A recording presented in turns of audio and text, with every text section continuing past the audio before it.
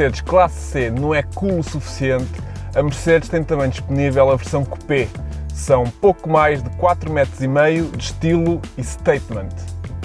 No exterior temos a silhueta de coupé inconfundível, uma frente longa, um teto bastante curvo que deixa umas janelas traseiras mais curtas que o normal. A meu ver, a traseira não causa assim tanto impacto como a frente, se bem que, pelo que percebi nos últimos dias, a minha opinião não é consensual. Esta versão, com o PEC AMG, torna as coisas ainda mais apetitosas, fica com um design excelente, mesmo nesta cor que eu penso que nem o favorece assim muito, todos reparam nele e tem presença na estrada. No interior, o tablier é o do classe C, sem tirar nem pôr. Mas ao contrário do classe C, sinto que tenho aqui uma posição de condução muito melhor. Uh, os bancos são muito mais ergonómicos e confortáveis. Uh, a posição de condução é spot on, vou mais baixo, estes bancos suportam muito melhor e fico mais envolvido.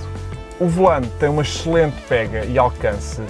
Esta versão, sendo de caixa automática, continua a ter o seletor aqui atrás do volante, uh, que eu não acho muita graça, para ser sincero, mas ainda assim a Mercedes vai continuar a ir por aí. Sendo um coupé, tem estas generosas portas, também para facilitar o acesso aos bancos traseiros, que são só dois e não têm assim muito espaço para perna ou altura. Ainda para mais tem o teto panorâmico que reduz aqui um bocado do espaço que tem eh, disponível para, para a altura.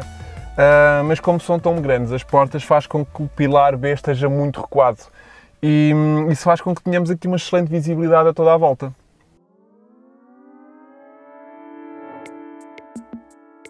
O motor é um 2.0 litros a gasolina com 184 cavalos às 5.500 rotações por minuto.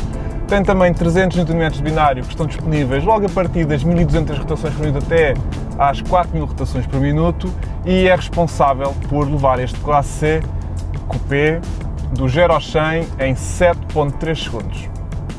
Tem uma velocidade máxima de 235 km por hora e o headline deste motor são as 6.500 rotações por minuto. O motor não é assim nada de especial, é pouco expressivo e sobe de rotação um bocado em esforço. Nem tem um som assim particularmente interessante. E a falta de binário uh, faz com que eu tenha saudades de um diesel, porque em baixas rotações ele tem pouca força para sair.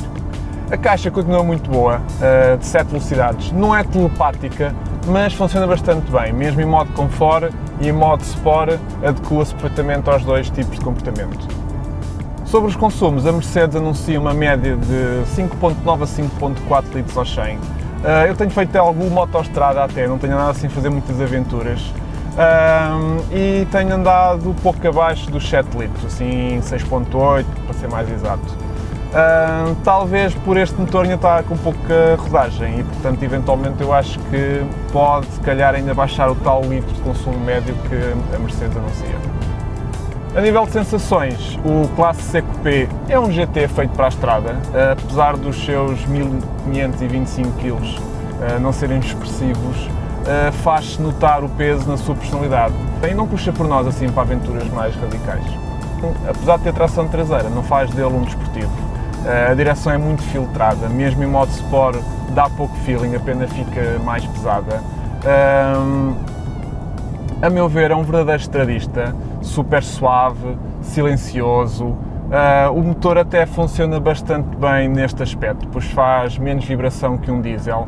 Um, é muito espaçoso aqui por dentro. As entradas para os bancos de trás são típicas de um coupé, ok, não são brilhantes, mas ainda assim são melhores do que, por exemplo, num SUV tentar aceder à terceira fila de bancos.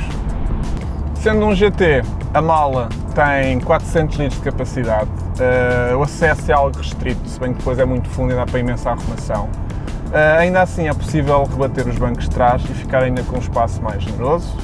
Falando de preço, este Classe C Coupé custa a partir de 48 mil euros, uh, para esta versão 200 a gasolina, com o kit AMG, teto panorâmico, a caixa de 7 velocidades e mais umas coisinhas, o preço já sobe mais 10 mil euros para os 58 mil euros. Portanto, em jeito de conclusão, é um coupé com excelente design exterior e interior, uh, um verdadeiro GT para despachar quilómetros em autoestrada. Portanto, bora lá!